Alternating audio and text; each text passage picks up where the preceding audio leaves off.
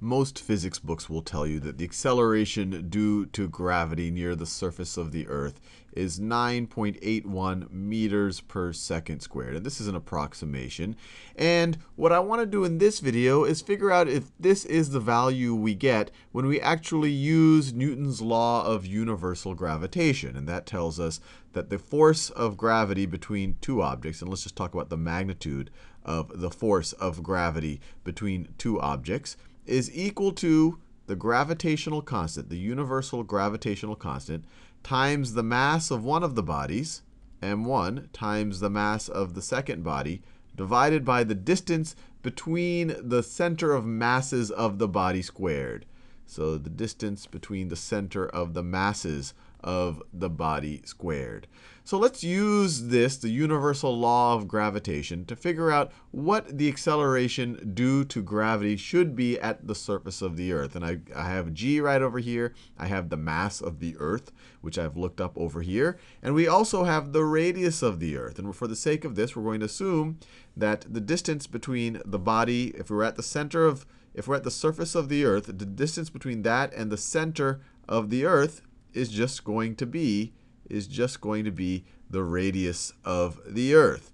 And so this will give us the magnitude of the force. If we want to figure out the magnitude of the acceleration, which this really is, I actually didn't write this as a vector, so this is just the magnitude of the acceleration. If you wanted the acceleration, which is a vector, you'd have to say downwards or towards the center of towards the center of the Earth in this case. But if you want the acceleration, we just have to remember we just have to remember that force force is equal to mass times acceleration. And if you wanted to solve for acceleration, you just divide both sides times mass. So force divided by mass is equal to is equal to acceleration. Or if you want the magnitude, if you take the magnitude of your force and you divide by mass, you're going to get the magnitude of your acceleration. This is a scalar quantity. This is a scalar quantity right over here. So if you want the acceleration due to gravity, you divide, let's say, let's, let's write this in terms of the force of gravity on Earth. So the magnitude of the force of gravity on Earth, this one right over here, so this will be in the case of Earth. I just wrote Earth really, really small. So one of these masses is going to be Earth. It's going to be this mass right over here. And so if you wanted the acceleration of at the acceleration due to gravity at the surface of the Earth, you would just have to divide you just have to divide by the mass that is being accelerated due to that force. And in this case, it is the other mass. It is the mass that's sitting on the surface. So let's divide both sides by that mass. Let's divide both sides by that mass. And this will give us the magnitude of, of the magnitude of the acceleration on that mass due to gravity. So this is equal to the magnitude of acceleration the magnitude of the acceleration due to gravity. And the whole reason why this is actually a simplifying thing is that these two, this m2 right over here and this m2 cancels out. And so the magnitude of our acceleration, the magnitude of our acceleration due to gravity, using Newton's universal law of gravitation, is just going to be this expression right over here. It's going to be it's going to be the gravitational constant times the mass of the Earth divided by the distance between the object, the object's center of mass, and the center of the mass of the Earth. And we're going to assume that the object is right at the surface, that its center of mass is right at the surface. So this is actually going to be the radius of the Earth squared. So divided by radius squared. Sometimes this is also viewed as the, the gravitational field at the center, uh, at the surface of the Earth, because if you multiply it by a mass, it tells you how much force is pulling on that mass. But with that out of the way, let's actually use a calculator to calculate what this value is. And then what I want to do is figure out, well, one, I want to compare it to the, the value that the textbooks give us and see maybe why it may or may not be different.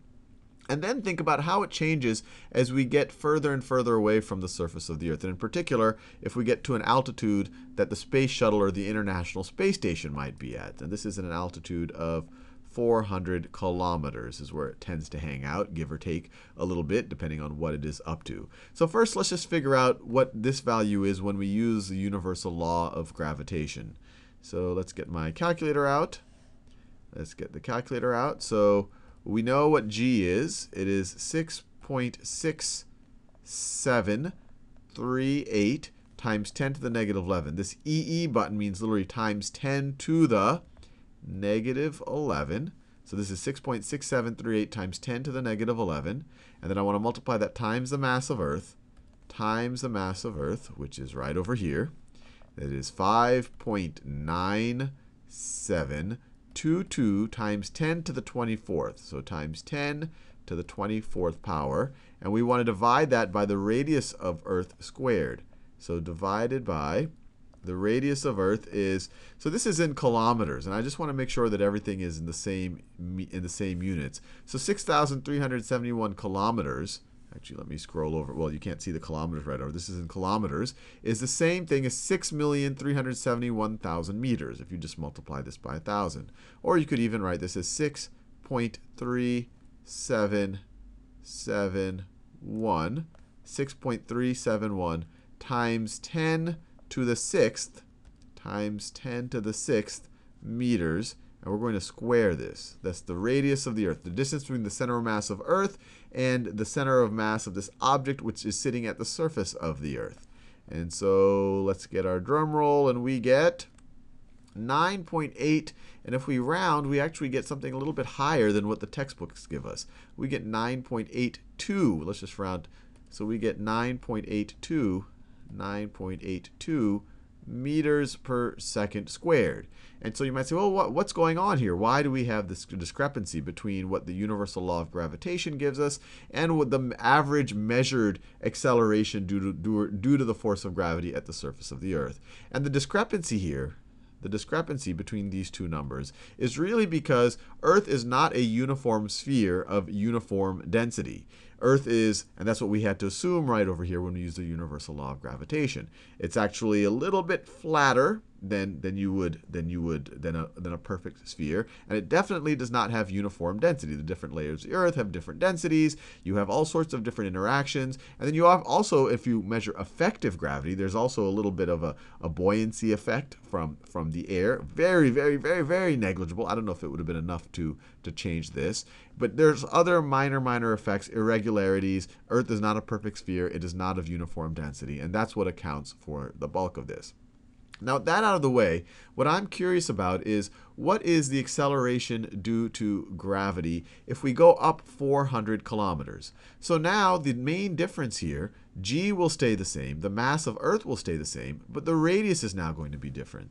Because now we're placing the center of mass of our object, whether it's the space station or someone sitting in the space station, they're going to be 400 kilometers higher. And I'm going to exaggerate what 400 kilometers looks like.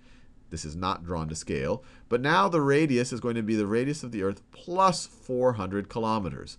So now, for, this, for the case of the space station, r is going to be not 6,371 kilometers. It's going to be 6,000.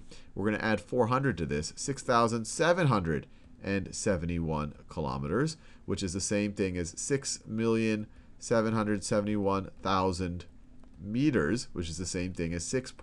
771 times 10 to the sixth meters. This is 1, 2, 3, 4, 5, 6, 10 to the sixth meters. So let's go back to our calculator and we should just be able, so second entry, that's the last entry we had, instead of 6.371 times 10 to the sixth, let's add 400 kilometers to that. So then we get 6. Point, sorry, 6.7. So we're adding 400 kilometers. So it was 371, now it's 771 times 10 to the sixth. And what do we get? We get 8.69 meters per second squared. So now the acceleration here, acceleration here is 8.69 meters per second squared. And you can verify that the units work out. Because over here, gravity is in meters cubed per kilogram second squared. You multiply that times the mass of Earth, which is in kilograms. The kilograms cancel out with these kilograms. And then you're dividing by meters squared. So you divide this by meters squared, you get you're left with meters per second squared. So the units work out as well. So there's an important thing to realize, and this is a misconception. We do a whole video on it earlier when we talk about the universal law of gravitation, is that there is gravity when you are in orbit up here.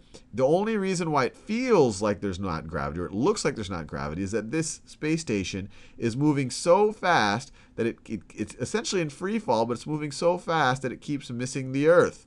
It keeps missing the Earth. And in the next video, we'll figure out how fast does it have to travel in order for it to stay in orbit, in order for it to not plummet to Earth due to this, due to the force of gravity, due to the acceleration that is occurring, this centripetal, this center-seeking acceleration.